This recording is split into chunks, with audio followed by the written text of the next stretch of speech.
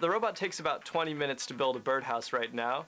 I would say that uh, kids also probably take around this time frame.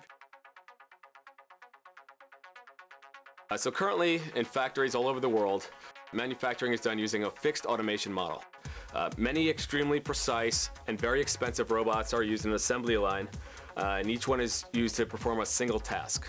We, as a world, are trying to move towards a flexible automation model. Uh, in order to make use of more intelligence in the robot, we're interested in trying to build products that have a lot of customization, things that are typically built by humans in factories right now. Building a birdhouse is something that you do typically do when, when you're a kid. It's a relatively simple structure, but it's something that actually, when you think about it, has a lot of challenging components to it. So this is something that's very customizable, um, but the pieces of wood are much smaller and it's something that is more appropriate for how much weight the PR2 robot can lift. Uh, we wanted robot-enabled tools, tools that could be held by the robot, and we also want the robot to be able to control it via a wire using a signal instead of actually pressing a button. Uh, so we actually teamed up with Professor Kern Moss from the Industrial Design Department at App State University. Together, we designed three tools, a vacuum gripper, in the left hand of the robot. We also have an electric nailer that the robot will use to uh, attach two pieces of wood together. And we also have a turntable. The robot is given three things for each birdhouse, a CAD model, an inventory, a list of pieces available to build that birdhouse, and also a set of instructions. The robot that we're using is made primarily for household tasks, cleaning a table or sweeping. These tasks aren't, aren't extremely precise. The, one of the key challenges here was to ensure that we could get that level of precision with a robotic platform that's made for typically imprecise household tasks. There's a lot of autonomy in our project. You can move the pieces around on the table in different ways. You can move the, the work table around, you can move the robot around in different ways. You can give it new birdhouses that the robot has never seen before, that you've just built in CAD. And the robot's able to construct these houses on the fly, even though it's never built something like this before. To plan the motions, we use a search-based planning approach developed by our lab, led by Professor Max Likhachev, uh, and it leverages experience to actually plan faster. This planner is able to try and come up with a way to move the arm from a starting configuration to some goal configuration.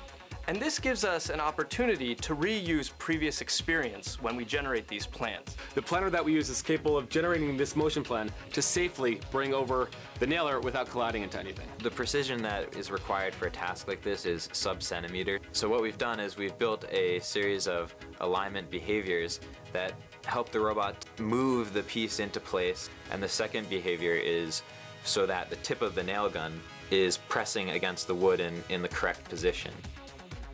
At the start of each workday, the robot will localize all of its work surfaces. It has a parts table to its left where it will use the vacuum gripper to pick up pieces from. So for the robot to be able to see the pieces, we actually place fiducial markers on them. And they tell the robot a number of things. The robot can estimate where the piece is on the table, how it's oriented on the table, and the markers also encode identification information. Uh, the robot will look at the table and it looks at the piece it's going to pick up next. There's a number of choices that need to be made. The robot needs to choose how it's going to actually pick up the piece. Uh, we call these a, a grasp library. There's a whole set of grasps that the robot could use. For instance, for a square piece, you could pick it up in the corner, you could pick it up in the middle, uh, you can rotate the suction cup to pick it up in different ways. And how you choose to pick it up is an important decision that affects the, the rest of this instruction. Uh, which angle to turn the turntable to so that it's easier to accomplish that instruction, and also which nail to put in first so that the nailer and the vacuum gripper don't collide.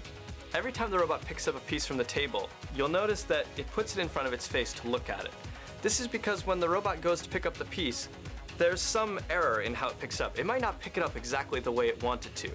It then brings it close to its cameras in order to see the error in how it might have picked it up, so it can account for it when it goes to insert it into the birdhouse. I think the work that we've shown here might lead to future advances in flexible automation, or uh, robots being used in environments which are a little less structured.